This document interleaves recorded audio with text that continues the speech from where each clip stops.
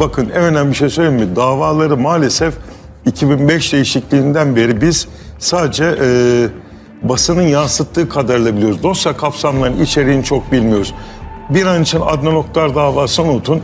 Devletin e, aktardığı kadarını ya da medyanın aktardığı kadarıyla kamuoyu önceden çok şartlandırılarak yargılamalar yapılıyor. Bütün davalarda Ergenekon, Balyoz şu anda görülen davalarda da aynı şeyler yürüyor. Bu davada da mı bir şartlanma olduğunu düşünüyorsunuz kamuoyu? Yani çok basit bir şey söyleyeyim mi? Bu dava ve birçok davada kamuoyu daha baştan hüküm verir hale getiriliyor.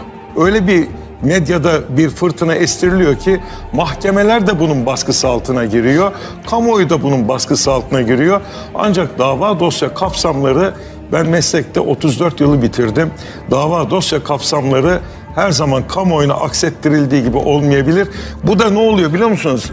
Yarın öbür gün mahkemeler kamuoyunun beklentilerine farklı bir yönde karar verdi vakitte işte yargı şöyle yaptı böyle yaptı deniliyor. Onun için aslında dünyadaki trend öyledir.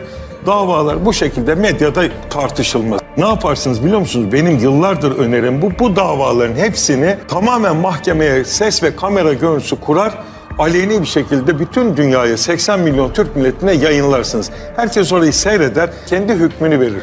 Bunu niye söylüyorum? Yani biz mesela Ergenekon balyoz süreçlerinden geçtik.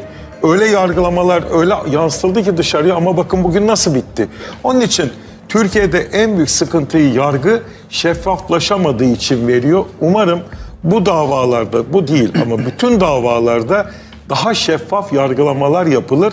Kamuoyuda kim, neden, nasıl, hangi delillerle yargılanıyor birebir görür ve böylece çok daha sağlıklı hükümler kurulabilir. Aksi takdirde ne oluyor?